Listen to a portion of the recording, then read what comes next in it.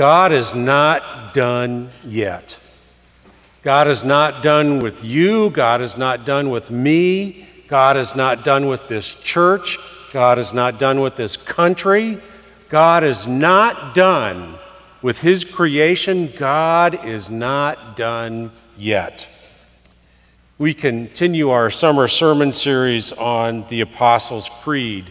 This is the second to the last sermon in the series, and it, we focus on the second to the last line in the Apostles' Creed I believe in the resurrection of the body.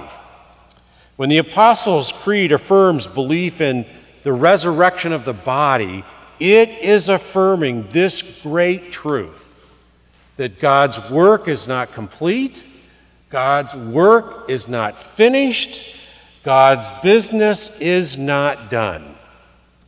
And our scripture reading today from the book of the prophet Ezekiel is an example of this great truth. Ezekiel was a prophet during the time of the Jewish exile in Babylon. In 587 BC, the Babylonians came all the way over to Israel and Jerusalem, the Holy Land, conquered the Hebrew people, ransacked the city of Jerusalem, destroyed the Jewish temple, and deported most of the promising citizens back to Babylon to live as servants and provide cheap labor. In exile, the Hebrew people were not kept in prisons or camps they were free to marry, build houses, plant crops, exchange goods. Some of them did well. They were also free to assemble, elect leaders, and to worship. But here was the thing they found a hard time worshiping God in exile. They didn't really get over the destruction of the holy city Jerusalem and their temple. They were not where they wanted to be. They were not where they were supposed to be. In exile, they lived with a sadness that ran deep in their bones. As one of the Psalms says, How can we sing the Lord's song in a foreign land? All of us know a sadness that runs deep in our bones. We lose a job, we lose a spouse, we get a divorce, we lose a child, either to death or just emotionally. They're struggling, they're having problems, and the last thing they want is for us to tell them what to do or a close friend dies. All these are examples of a dream that fades. We had such hope, but the older we get, the more and more of our dreams just fade away. And they're replaced by a sadness an existential sadness, a spiritual sadness. It's not the kind of sadness that makes us turn towards God, it's the kind of sadness that just makes us pay less attention to God. Less and less. We find it difficult to connect, and we're in Babylon. We are not where we want to be. We are not where we're supposed to be. Over time, something happens. Over time, we attempt to numb that pain.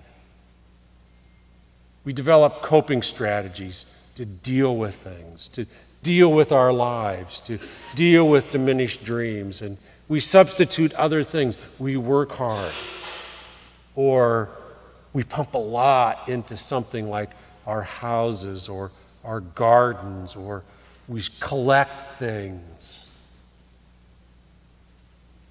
We live quietly and we do the best we can, we're, but we're just making Babylon a nicer place to live. We can only numb the pain for so long, and then we realize that in numbing the pain, we are numbing that part of self, ourselves that makes us feel alive. Without God, our lives become flat. I've noticed that when a spouse dies after a long and important marriage, the widow often finds it very difficult to come back to church. It takes time. It takes time because it's not the same. It's not the same to be in this place without that person. And it's, in fact, the world's a wholly, uh, whole different place without that person. And it's not that they've become less faithful. It's not that they've become less trusting. It's not that they still don't love the people. It's just harder because of the deep sadness. One day, the Spirit of the Lord grabs hold of the prophet Ezekiel and takes him to a valley of dry bones. And the Lord asks Ezekiel, Mortal, can these bones live? Looking around at all the skeletons, Ezekiel thinks hard and says, Well, Lord, only you know the answer to that. And that's one of the most smartest things anyone ever, ever said. Ezekiel recognizes what he knows, and he recognizes what God knows. And he knows there's a big difference between what he knows and what God knows. And oftentimes, we don't quite recognize that difference. We tend to speak like we know it all. I remain a mystery unto myself, and yet I can act like I can size somebody else up in about 10 seconds. 10 seconds, and I can tell someone, well, what you need to do is this. And it sounds pretty good. But how does that strategy work for you? It doesn't work that well for me. I can't even tell the dog what to do. Every night, 10 o'clock, we go out. I don't need to go out, the dog needs to go out. Every night, 10 o'clock, I say, JC, let's go potty. You know what? Every night she resists. Every night she gives me a hard time. I have to, I, I have to be more than polite. And finally she gives in and we go out. The Lord tells Ezekiel, start preaching to the dry bones. And the Lord tells Ezekiel what to say Dry bones, hear the word of the Lord. Thus says the Lord your God to these dry bones, I will cause breath to enter you, and you shall live and know that I am the Lord. How foolish this must have seemed to Ezekiel. There he is, standing in the middle of a valley of dry bones, and he's supposed to tell them what to do. He's to give them hope. He's to tell them, You will come back alive again. Now, if I was Ezekiel, I would have gently suggested to the Lord that first he bring the dry bones back to life, and then I'll do the preaching, and then say, See what the Lord can do. But that's not the way it works. We are called to believe without seeing. We are called to believe before things happen. This is because it's the hope that makes it real. There's always that gap between the Word of God and the fulfillment, the promise and its coming true. in that space, there's room for hope. And it is the hope that makes us alive again.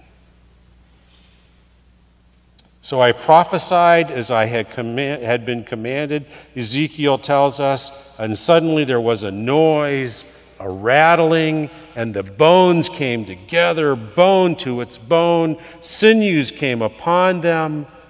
The Lord breathed life into the bones, and there is resurrection. The resurrection of bodies, the resurrection of dry bones. And this is a prelude to the resurrection of Jesus Christ from the dead. Belief in Jesus' bodily resurrection is one of the controlling undercurrents of the New Testament. But the Gospels, Matthew, Mark, Luke, and John, do not describe how Jesus' body was raised. The tomb is empty when the women arrive. They are not expecting resurrection. They don't know what's going on with the empty tomb. Suddenly, Jesus appears in the flesh. What happened, we don't know. How did he get to that place? We don't know. This is why the women and those they tell are now faced with the decision whether to believe this or not. Is this real or is this not? To believe in the resurrection of the body is to believe that Jesus is raised in the real world to believe that Jesus, to believe in the resurrection of the body, is to believe that Jesus is not raised to an ethereal world or another dimension, or this is not just spiritual, but that Jesus' body, his body, is raised in material, concrete reality. And what this means is that God is at work in our world, in real time, within physical reality as we know it. The title of this sermon series is This I Believe, and I'm staking my claim right here. I believe in the resurrection of the body. I believe in the resurrection of Jesus' body. And I believe in the resurrection of our bodies because of His. This is supernaturalism. This is unexplicable. This is a great mystery. This is something that's only acceptable and only accessible to us through faith. Some of the women and the disciples they told did believe in the resurrection of the body. They came to believe this. Some of them did come to believe that Jesus was dead and gone, but alive again in recognizable flesh. And because his body is raised, they had hope. They had hope that everything that he had said was true and everything that he promised would come true. They had hope that because he was raised, the grave could not contain him and that death was defeated. They had hope that even though they were going to face difficult days ahead, including persecution, that they could endure. They had hope that because they had seen Jesus risen in his body, that they too would be raised in their bodies. They had hope because Jesus was raised, and that meant God was at work in their lives.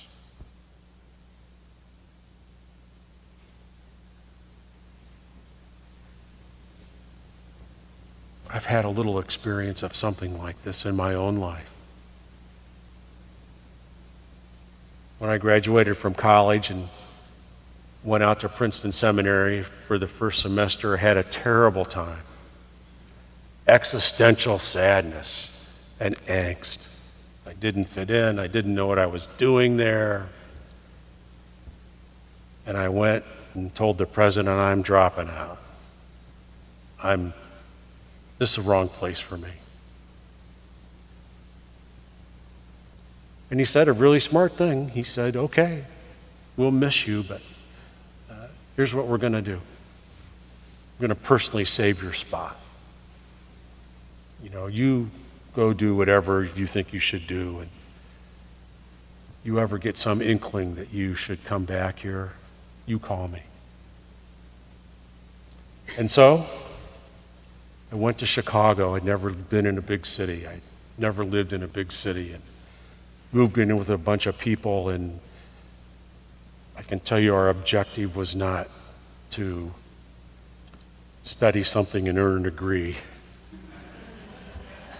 And I needed to support myself, and I had a painting business with another guy. We started it from nothing.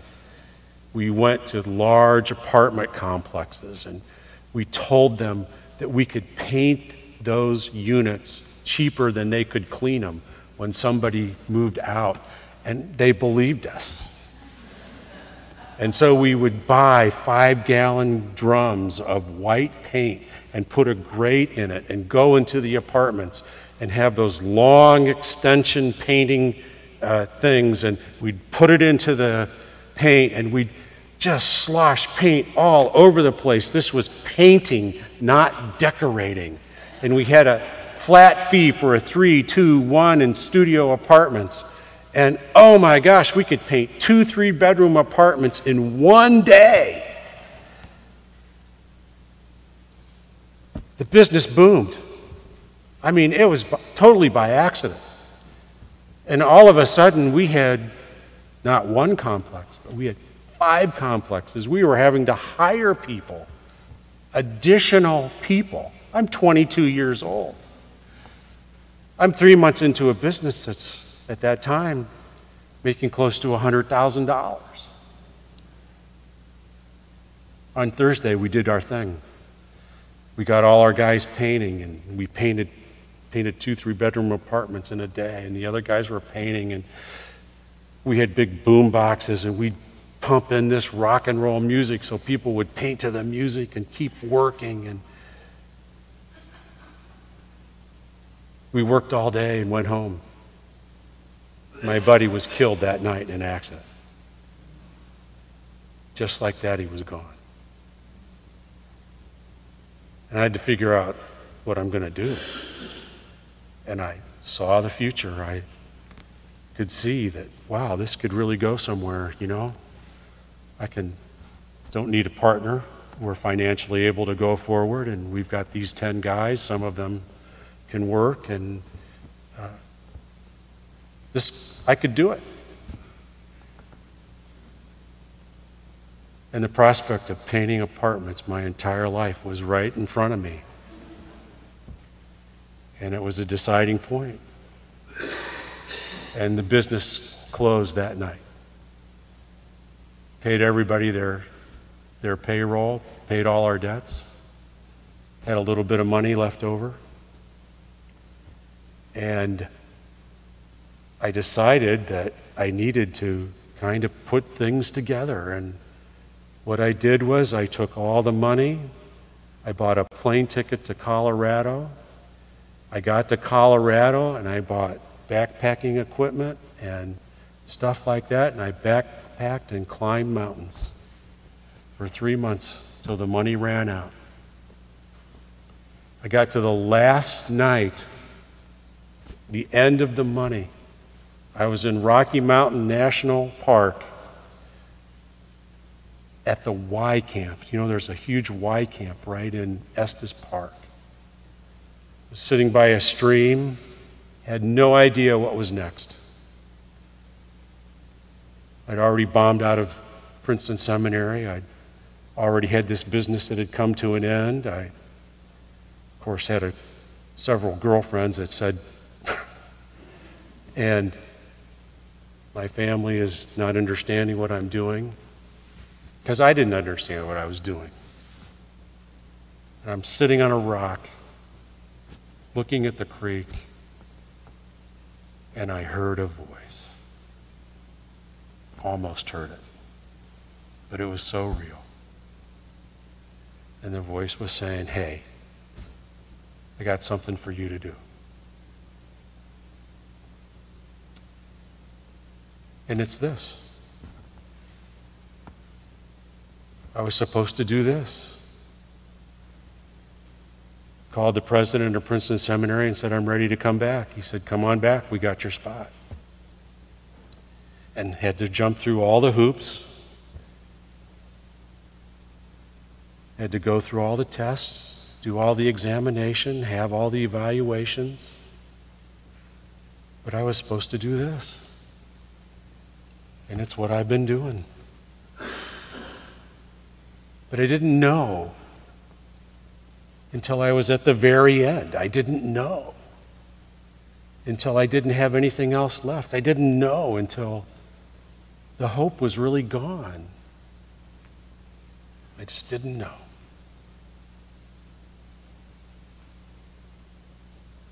You know something about that, don't you? You've been there. You've been at the end and you don't know what to do. And here you are.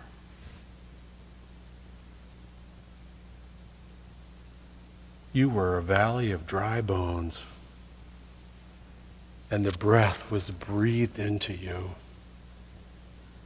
and you were raised to new life.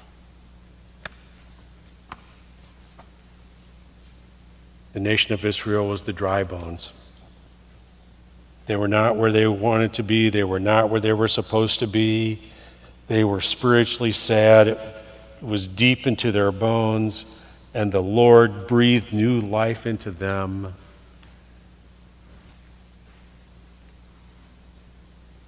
And said, I'm going to take you back.